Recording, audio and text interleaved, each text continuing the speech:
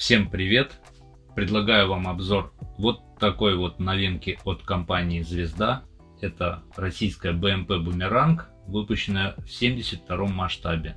Модель выпущена осенью 2021 года. Покупалась по предзаказу в компании Arma Models, поэтому до укомплектована кое-какими смоляными деталями, о которых расскажу обязательно в процессе обзора.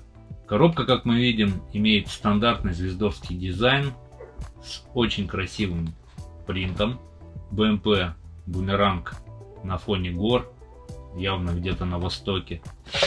На боках коробки все стандартно.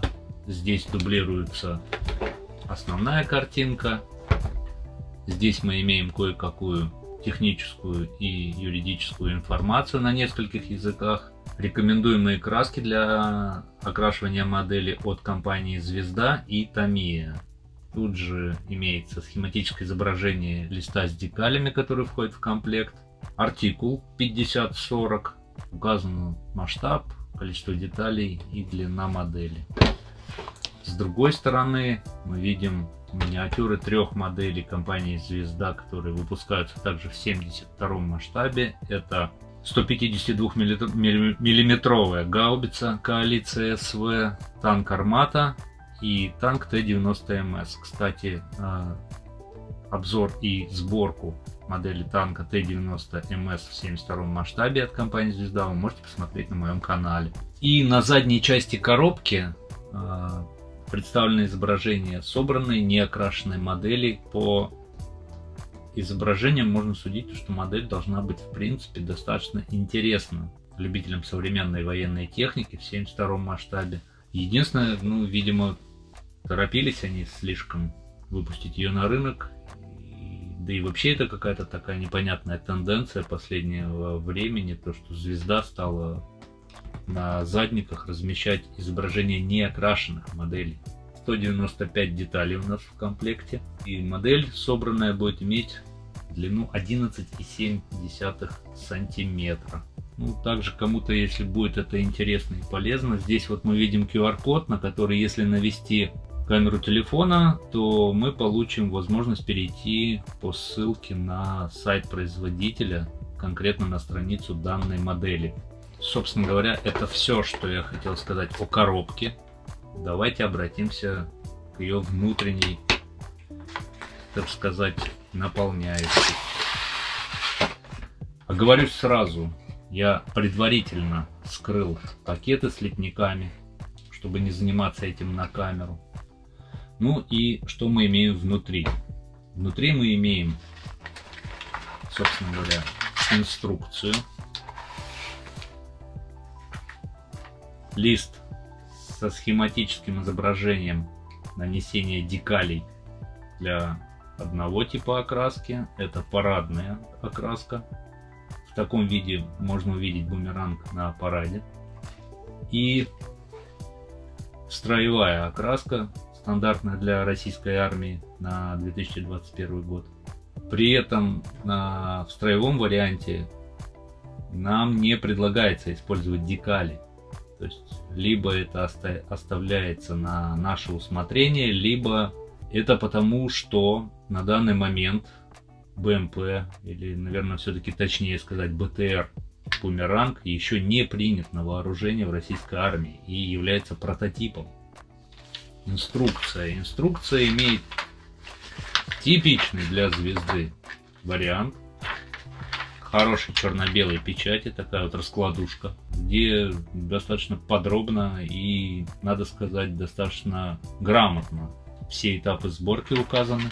То есть по памяти никаких косяков и затыков с тем, что непонятно, как собирать тот или узел, благодаря инструкции звезда не возникало.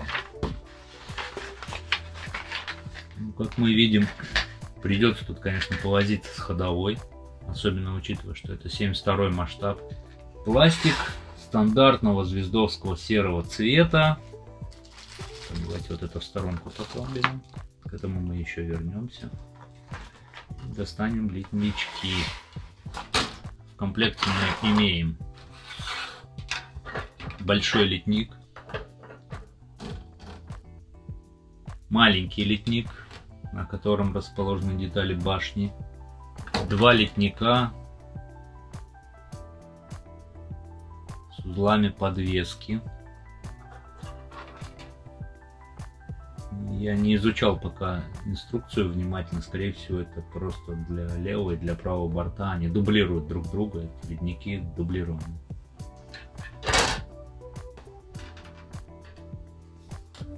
Ну и вот, собственно говоря, это нижняя часть корпуса нашего с вами БТР, как мы видим, конечно же, без внутреннего наполнения, ввиду того, что это все-таки 72 масштаб нам никто не предлагает сделать десантный отсек открытым. Толкатели все расположены с внутренней части, как обычно. Детализация, ну, на первый взгляд, отличная для 72 масштаба. Мелочевочки тут много, нигде никаких утяжин, даже намеков. Что бросается в глаза? То, что пластик прям гладенький-гладенький. Звезда Браво. Ну, также вот можно посмотреть на качество литья на примере вот этого литничка. То есть вот верхняя часть корпуса и вот еще.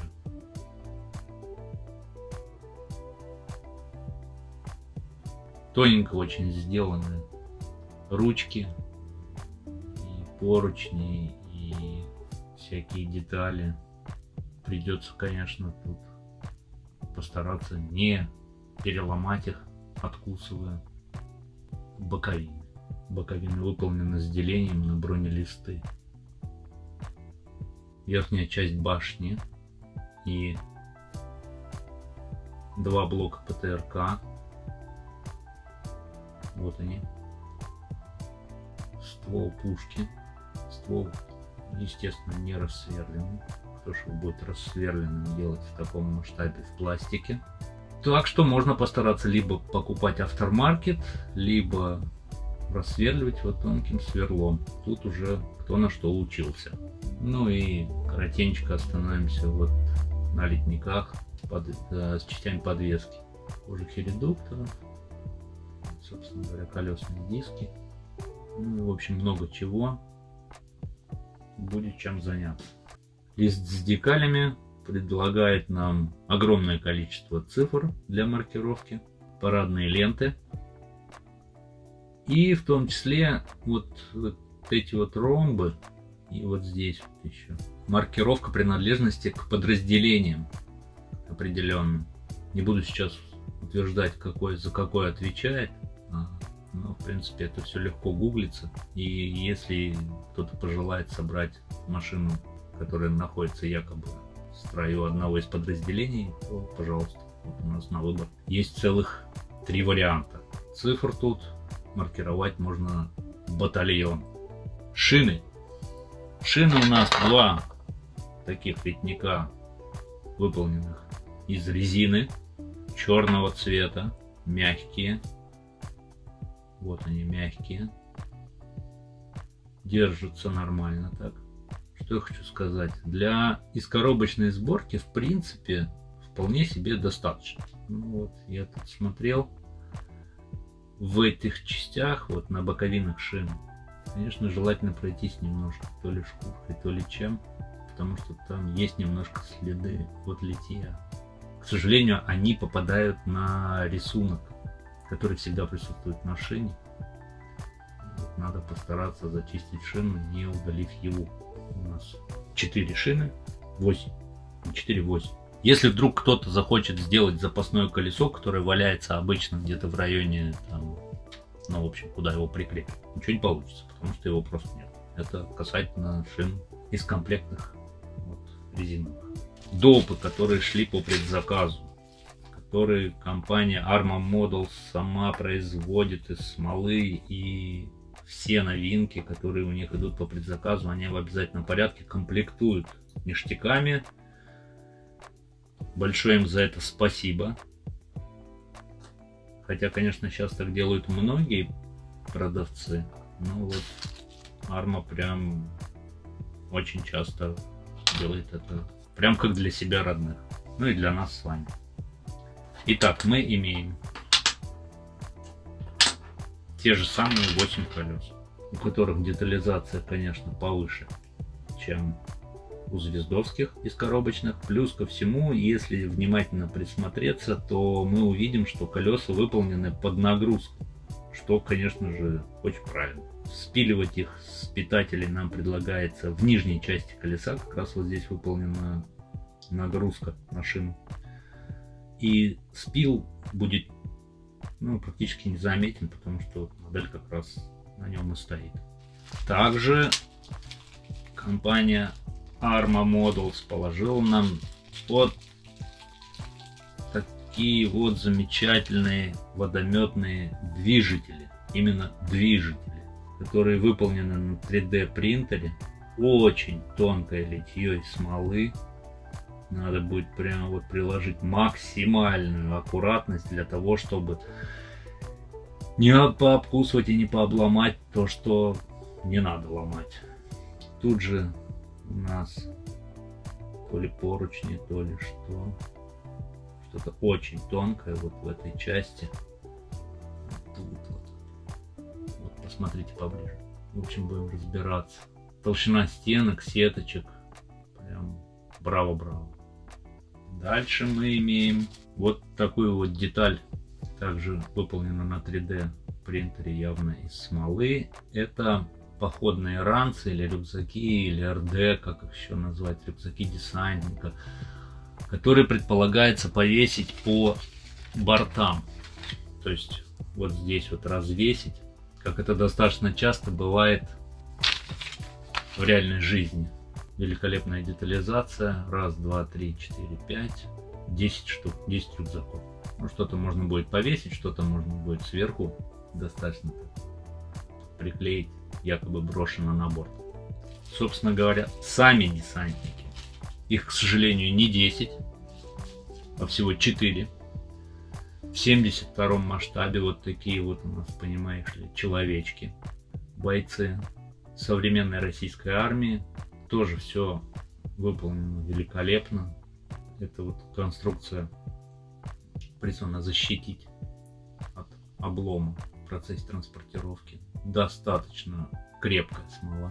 В процессе сборки сначала обкусывается по периметру, откусывается решетка, а потом уже аккуратно бойцы снимаются, ну и не только бойцы, а вообще в принципе вот когда таким типом сделаны детали, сами детали снимаются уже с, с подставки. Что ж, дорогие друзья, вот такой вот у меня получился обзор новинки от компании Звезда, которые в ближайшее время я соберу и обязательно покажу на своем канале. Вам желаю удачных строек, хорошего настроения и крепкого здоровья. А вы не забывайте подписаться на мой канал и поставить лайк. Всем спасибо.